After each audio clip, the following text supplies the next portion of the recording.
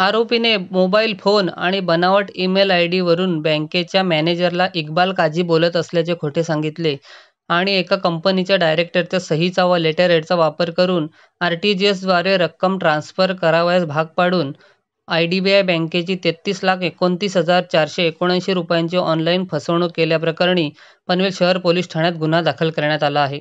पनवेलच्या I D B I बँकेमध्ये इक्बाल काझी यांनी प्रायव्हेट लिमिटेड कंपनीच्या नावाने खाते उघडले. बारा जुलै रोजी त्यांना इक्बाल काझी या नावाने बोलत असल्याचा फोन आला. यावेळी चेकबुक संपले आहे, मेडिकल करायचे आहे आणि एक करोड रुपयांची मुदत ठेव करायची आहे. मी संध्याकाळी बँकेत येतो असे त्याने फोनवर सांगितले. यावेळी मॅनेजर यांनी लेटर हेडवर रिक्वेस्ट पाठवून द्या असे सांगितले. त्यानंतर पुन्हा फोन करून काझी याने ईमेलवर रिक्वेस्ट लेटर पाठवले असल्याचे सांगितले. त्यानुसार काझी यांनी दिलेल्या तीन बँकेच्या चार अकाउंटवर तेहतीस लाख एकोणतीस हजार चारशे रुपयांची रक्कम ट्रान्स्फर करावास भाग पाडले. त्यानंतर इक्बाल काझी याने त्याच्या अकाउंटमधून एसवरती रक्कम ट्रान्स्फर केलेली नसल्याचे बँकेला समजले. यावेळी बँकेची ऑनलाईन फसवणूक केली असल्याचे लक्षात आले. तुम्ही आमचं चॅनल सबस्क्राईब केले नसेल तर आत्ता सबस्क्राईब करा आणि नवीन अपडेट्स मिळवा.